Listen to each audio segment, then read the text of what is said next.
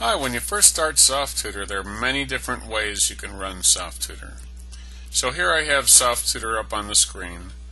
And if I didn't know anything about MicroStation, I could just start with Chapter 1 and work my way all the way through to the end of SofTutor and end up on Chapter 18.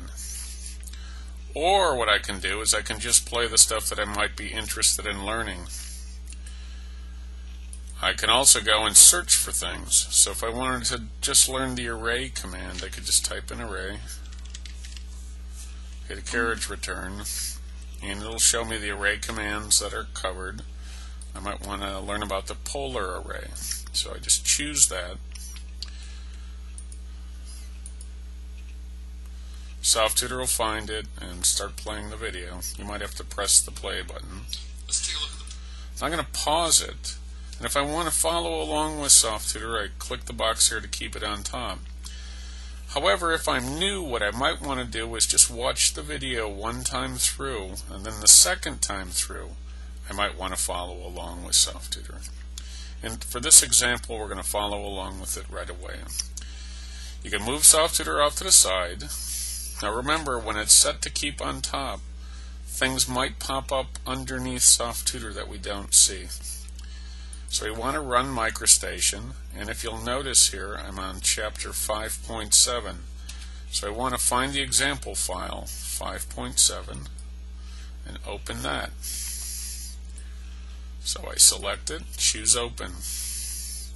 Now what I might want to do is move my example file around a little bit, or I can move SofTutor around, or I can resize SofTutor as well. For this example, I'm just going to move the uh, example file a little bit.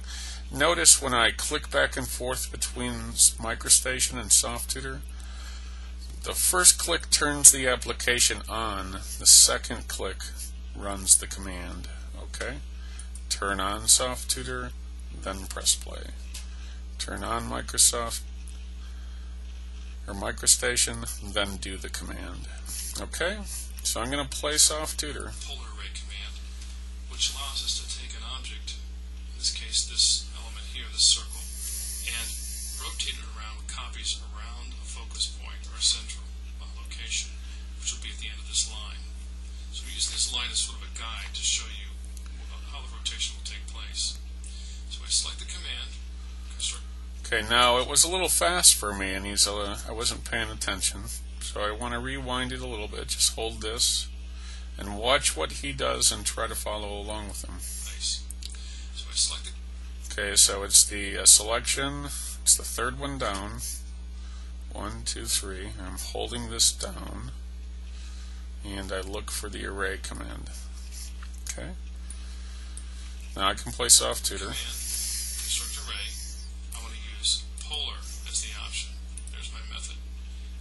Items and 30 degree delta angle. Now 30 degrees is going to give me the angle between each copy and the item number will be 4 including the original. So I'll have three copies. The prompt down below says identify the element. I'm going to select that. And now it's going to ask me to accept or reject the selection and I'm going to simply select it at the bottom here, the data point, and you'll notice that I have a 30 degree angle between those. Okay, now I can rewind this and play it again. I can try some of the options there. I can go into Edit Undo, and I can see what it looks like with uh, six elements in there. And I can change the angle to be maybe 20. And try it again. See? You can keep screwing around with it and playing and you're going to learn by doing. So you can you don't have to do what the teacher does. The teacher is your guide. He's teaching you the commands and you're following along with them. And as you learn more about microstation you can change the colors. You can really get more and more creative as you go through it. And if you wanted to do the example file again I just recommend that you undo the command at the end so that you can come back to the uh, this DGN file and be able to start fresh again.